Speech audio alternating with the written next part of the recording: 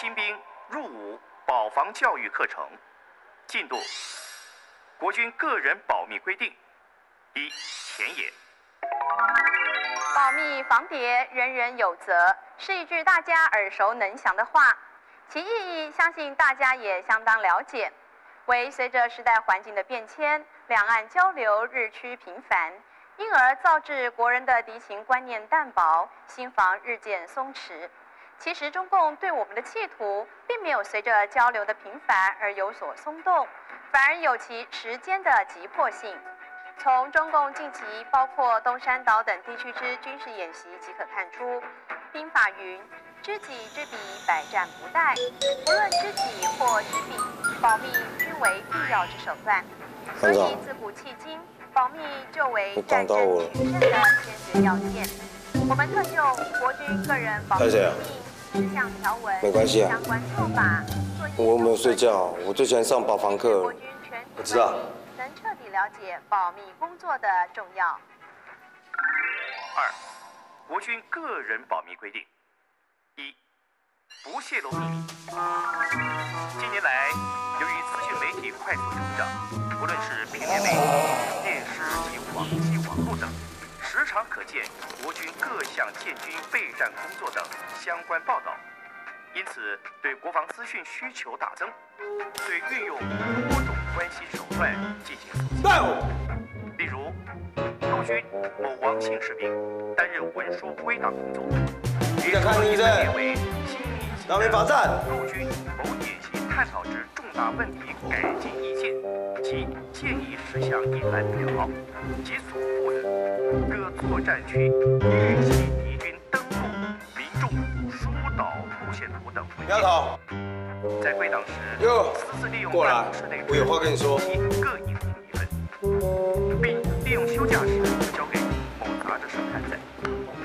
讲什么事？就外面罚站。我有看嘞，我也有在看你，莫名其妙。王姓士兵的行为罚站。虽然不是将机密资料直接交付于敌人，但是经由报章杂志的刊载，不也是等于向敌人公布了我们的机密？其对于国家可能造成的伤害是无法估计的。我们必须了解国军单位或人员在接获新闻媒体邀请参与问题座谈、评论或发表讲演，其核准权责为国防部、各军种总部、军管部、县令部，并应先其协请提供研讨。小鸡，答复内容不得色眯眯的眼睛这么小，这样看得清楚吗？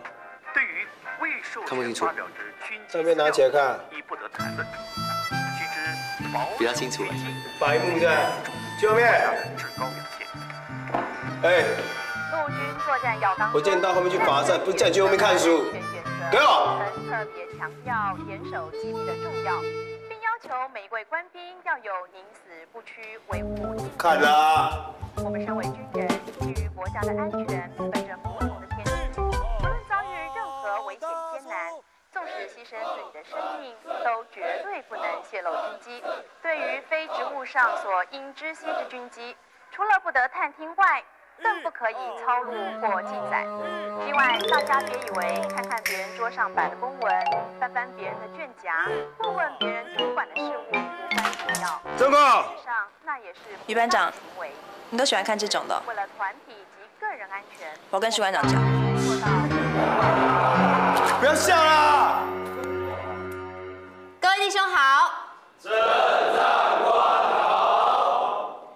刚刚已经看过了保防教育的影片，相信大家都已经了解了保密防谍的重要。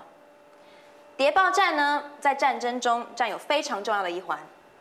比起子弹、飞弹这些有形的武器，情报战在无形中的渗透更是可怕，甚至会影响到战争的胜败。相信大家常常在营区里面有看过一些保防的标语，有没有弟兄愿意分享一下大家看过，然后又比较有印象的呢？有。杨海生。包长官。一夜泄露，身败名裂。吴勇。有。真本外露。求求父母。哎，正长官现在上课，您起来恭喜啊！包班长，我们讲的是请自册，这跟情资有什么关系啊？因为情资册里面有许多重要军事机密，如果一页泄露，就会身败名裂；如果整本外露，当然会全军覆没啊！你们两个坐下。谢长官，我去旁边。很好，接下来大家还有没有要分享的呢？叶大同，保密是军人的天职。叶大同，郑当官问你是保防的标语，你讲歌名干嘛啊？你不晓得，版本上也有写嘛，莫名其妙哎。太远了看不到了，怪我。虽然是歌名，但是也是一句很好的标语。于班长，我去旁边。还是你有更好的想要跟大家分享一下？查，谁在泄露机密？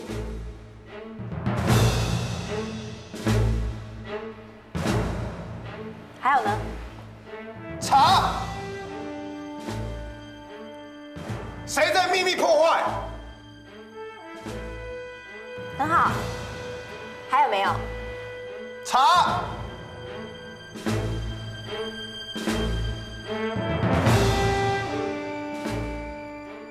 于班长，Go。国军官兵情报责任制度默写一百遍。今天就请钱交到我那边。是这样，官，不要笑啦。还有没有弟兄愿意出来分享一下？石俊，我原本以为只要体能、武器比敌人好就能打胜仗，看完保防教育短片后，才发现保防工作原来这么重要。尤其我们现在身份是军人，更应该谨言慎行。请坐下。谢谢长官。石俊说的很好，我们不能因为现在西线无战事就松懈了。还有没有弟兄愿意出来分享一下？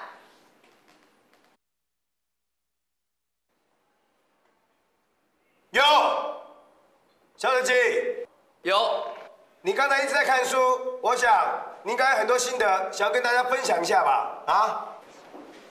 其实我的口风蛮紧的，就像在《卧虎藏龙》里面啊，如果有人色诱我，我是不会泄露机密的。《卧虎藏龙》里面有这一段吗？啊？有啊，而且那女主角很漂亮，叫汤唯。那色戒吧，差这么多也可以搞混，你看盗版的在，莫名其妙。很好。保防工作从平常就要落实，千万不要因为自己个人的疏忽而危害到国家的安危。这样了不了解？了解。很好，今天的课就上到这边，接下来的时间就交给于班长。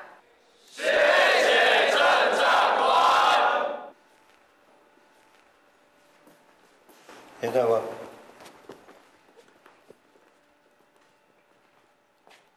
各位，这边提醒你们，尤其是站在后面那几个，以后上保防教育，如果你们再不用心看，就通通拉到室外去出操，了不了解？了解。不了解？了解。待会各班去统计有没有人要参加躲避球的比赛，然后向我汇报，好方便我统计班数。待会下课休息十分钟，开始动作。